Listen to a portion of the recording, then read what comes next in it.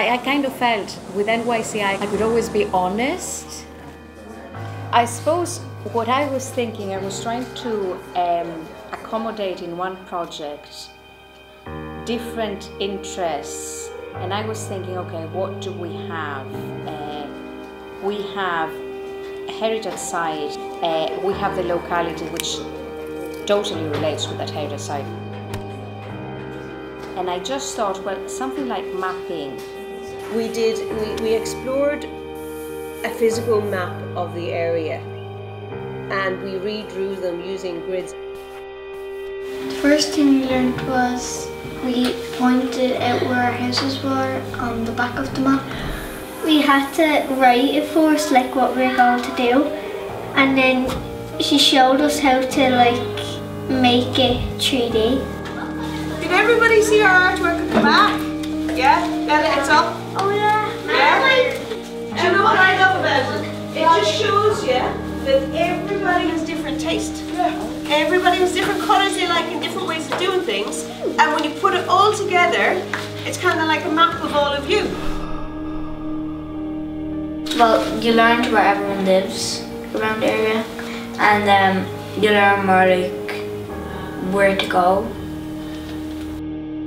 And getting them to realise that, you know, this small area where they all lived or went to school or shopped or where their family were uh, was just a small part of a much, much bigger world. If you didn't have your way, your home to live in, you'd be on the street, so it's lucky that you have a place to live in. Out, either side it. So, excellent. In changing their perspective of the map, it changed their whole idea of where they lived and what they were a part of. I mean, as an advice to people who might be applying for funding, I don't think uh, the OPW would have ever considered the National Youth Council of Ireland or, you know, what sort of connection should we have with them. Mm. I don't think NYCI would have ever looked at the OPW that way. So it's all these mm. partners coming together. I mean, we're talking about four sites here. We're talking about an artist.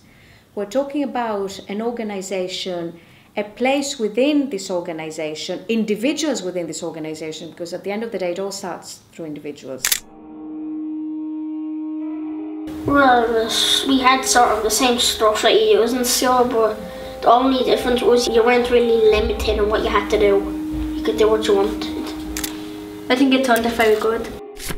Even if you don't get any reward from the application, you actually get a service not just by putting it together but just through the feedback you get and then you can also sell it back to your to you know whomever you advocate for as in what should we do better next time the kids come out of it really believing that if they really really try they can do something that they thought they couldn't